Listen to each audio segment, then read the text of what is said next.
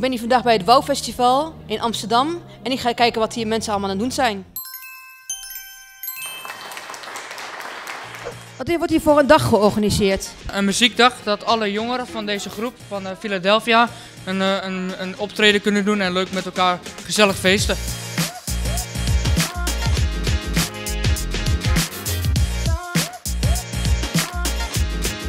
Je bent manager van Philadelphia. Wat doe je hier precies vandaag?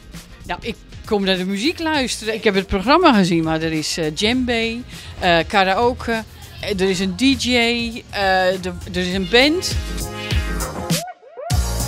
Ik ben Gerben. ik heb mee georganiseerd aan deze dag. En, mee mogen denken in het creatieve proces. Het is met muziek dat er heel veel emotie bij komt kijken.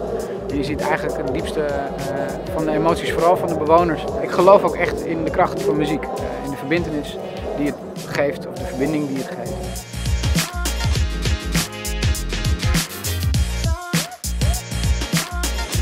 Philadelphia doet veel met muziek. Uh, Philala, uh, ik, heb, ik heb de indruk dat er ook steeds meer met muziek gedaan wordt. Uh, omdat het een, eigenlijk een taal is die iedereen spreekt.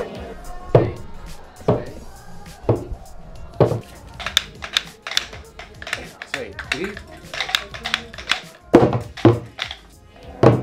We hebben een hoop cliënten die natuurlijk niet capabel zijn om verbaal te communiceren, maar deze communicatie is er eigenlijk altijd. Je ziet altijd dat er een reactie is op muziek.